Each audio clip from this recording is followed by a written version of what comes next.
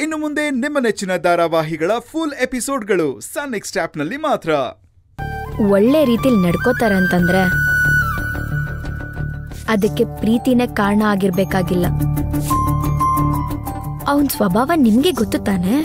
ಏನ್ ಬುವೆ ಇದ್ ನಿನ್ಗಿಷ್ಟ ಇದೆಯೋ ಇಲ್ವೋ? ಅಯ್ಯಯ್ಯೋ. ನೀವ್ ಹೇಳಿದ ತರ ಎಲ್ಲ ಇದ್ದು ಅದು ನಿಜವಾಗಿದ್ರೆ ನನಗ್ ತುಂಬಾನೇ ಸಂತೋಷ ರೀ. ಆದ್ರೆ ನಾವ್ ನಾವೇ ಏನಾದ್ರೂ ಅನ್ಕೊಂಡ್ ಮಾತಾಡೋದು ನನಗ್ಯಾಕೋ ಅಷ್ಟೊಂದು ಸರಿ ಬರ್ತಿಲ್ಲ. ಈಗಾಗ್ಲೇ ಒಂದ್ಸತಿ ಈ ಥರ ಎಲ್ಲ ಮಾತಾಡಿ ತುಂಬಾ ತುಂಬಾ ನೊಂದ್ಕೊಂಡ್ಬಿಟ್ಟಿದ್ದಾನೆ ಕೃಷ್ಣ. ಅಲ್ಲ ರೀ, ಇದನ್ನೆಲ್ಲ ಮರ್ತ್ಬಿಟ್ರ ನೀವು? ಕೃಷ್ಣನೇ ಬಂದು ಇದ್ರ ಬಗ್ಗೆ ಮಾತಾಡೋವರೆಗೂ ನಾವ್ ನಾವೇ ಇದ್ರ ಬಗ್ಗೆ ಮಾತಾಡಬಾರ್ದು ರೀ. ಭುವಿ ನೀನ್ ಹೇಳ್ತಿರೋದಲ್ಲ ಸರಿನೇ. ಆದ್ರೆ ನಾನು ಅವರಿಬ್ರು ಗಮನಿಸ್ಕೊಂಡೇ ಬರ್ತಾ ಇದ್ದೀನಿ. ಅವರಿಬ್ರು ಬೆರೆಯೋ ರೀತಿ ಆ ಸ್ವಾತಿ ಕೃಷ್ಣನ್ ನೋಡೋ ನೋಟ.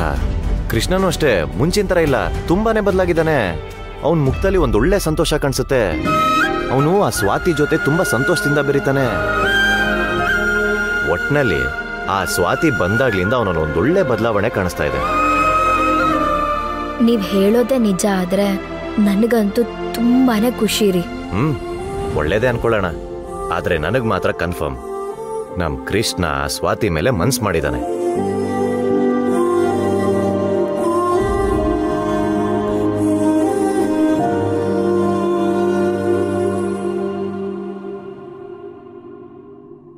ರೀ. ನನ್ ನಾನ್ ಚಿತ್ರನ ಹತ್ರ ಮಾತಾಡ್ಲಾ? ಏನ್ ಹೇಳ್ತಿದ್ಯಾ ಭುವಿ? ಆ ಚಿತ್ರಂಗ್ ಏನ್ ಬಂದಿರೋದು? ಬೆಳಗ್ಗೆ ನಾ ಚಿತ್ರಂಗ್ ಫೋನ್ ಮಾಡಿದ್ದೆ. ಅತ್ತೆ ಅದನ್ನ ನೋಡ್ಬಿಟ್ಟು ನನಗ್ ಬಾಯಿಗೆ ಬಂದಂಗ್ ಬೈದ್ಬಿಟ್ರು. ತುಂಬಾ ಬೈದ್ಬಿಟ್ಲಾ? ಹೌದು ರೀ ತುಂಬಾ ಬೈದ್ರು. ಸರಿ ಬಿಡು ಭುವಿ. ಇನ್ಮೇಲೆ ಆ ಚಿತ್ರನ ಹತ್ರ ಮಾತಾಡಕ್ ಹೋಗ್ಬೇಡ. ಏನ್ರಿ ನೀವು ಹೀಗೆ ಹೇಳ್ತಿದ್ದೀರಾ? ಭುವಿ ಇವಾಗ ತಾನೇ ಒಂದು ಸಂತೋಷವಾಗಿರೋ ವಿಷಯ ಹೇಳಿದ್ದೀನಿ. ಅದನ್ನ ಕೆಡ್ಸೋ ರೀತಿ ಯಾಕೆ ಮಾತಾಡಬೇಕು? ಸುಮ್ಮನೆ ಮಾತಾಡದೆ ಮಲ್ಕೋ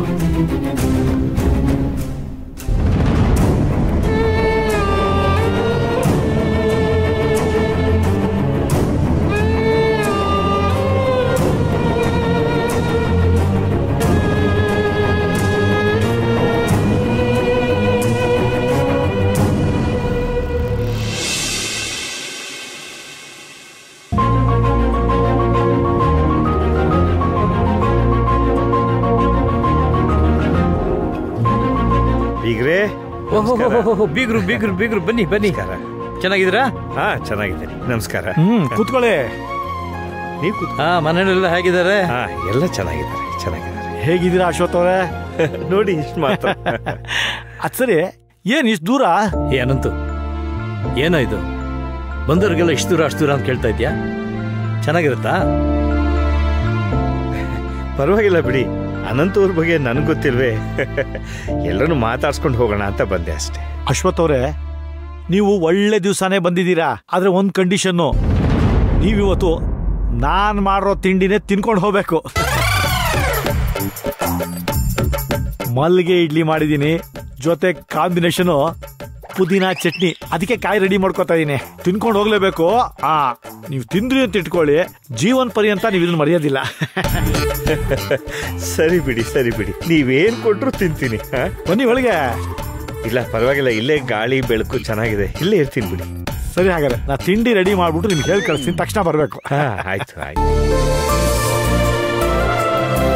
ಬೀಗ್ರೆ ಒಳಗೋಗೋಣ ಬನ್ನಿ. ಬೇಡ ಬಿಡಿ ಬೀಗ್ರೆ. ಇಲ್ಲೇ ಒಂಥರ ಚೆನ್ನಾಗಿದೆ ವಾತಾವರಣ. ಇಲ್ಲೇ ಇರು. ದೀಪು ದೀಪು ಅಪ್ಪ ಯಾವಾಗ ಬಂದ್ರಿ? ಈಗ ಹ್ಮ್? ಚೆನ್ನಾಗಿದ್ದೀನಮ್ಮ. ಚೆನ್ನಾಗಿದ್ದೀನಿ ಅಪ್ಪ. ನೀವ್ ಹೇಗಿದ್ದೀರಾ? ಚೆನ್ನಾಗಿದ್ದೀನಮ್ಮ. ಅಕ್ಕ ಮಾವ ಐಶು ಎಲ್ಲ ಚೆನ್ನಾಗಿದ್ದಾರಾ? ಓ ಎಲ್ಲರೂ ಚೆನ್ನಾಗಿದ್ದಾರೆ. ಸರಿ ಅಪ್ಪ ಕಾಫಿ ಮಾಡ್ಕೊಂಡ್ ಬರ್ತೀನಿ. ಸರಿನಮ್ಮ. ಹಾ ದೀಪು ಮರೆಯೋಕೆ ಮುಂಚೆ ಹೇಳ್ಬಿಡ್ತೀನಿ. ಆ ಅಳಿಯಂದ್ರದು ಪ್ಯಾಂಟು ಶರ್ಟು ಸೈಜ್ ಒಂಚೂರು ಬರ್ಕೊಡಮ್ಮ. ಏನಕ್ಕೆ ಬೀಗ್ರೆ? ಅದು ಇನ್ನೇನು ಸೇಮ್ ಅಂತ ಮಾಡಬೇಕಲ್ಲ ಅಳಿಯಂದ್ರಿಗೆ ಬಟ್ಟೆ ತಗೊಳ್ಳೋಣ ಅಂತ. ಇನ್ನೇನು ನಮಗೂ ನಿಮಗೂ ಬಿಡಿ ಪಂಚೆ ಸೈಜು ಗೀಜು ಏನು ಬೇಕಾಗಿಲ್ಲ? ಸರಿಯಪ್ಪ ಫೋನ್ ಮಾಡಿ ಹೇಳ್ತೀನಿ. ಸರಿನಮ್ಮ. ಕಾಫಿ ತಗೊಂಡು ಬರ್ತೀನಿ. ಹಾ ಹಾ ಇಲ್ವಾ ಅಲ್ಲಮ್ಮ ಇಲ್ಲಪ್ಪ ಗಾರ್ಮೆಂಟ್ಸ್ಗೆ ಹೋಗಿದ್ದಾರೆ. ಹೌದಾ? ಆಯ್ತು ಸರಿ ಸರಿ. ಹಾ.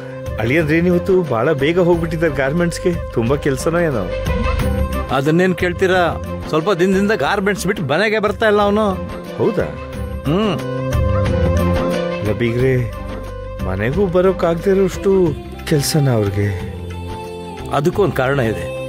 ದೀಪು ಡೆಲಿವರಿ ಟೈಮಲ್ಲಿ ಅವ್ರ ಜೊತೆಗೆ ಇರಬೇಕು ಅಂತ ಆಸೆ ಪಡ್ತಿದ್ದಾನೆ ನಿಮ್ಮ ಅಳಿಯ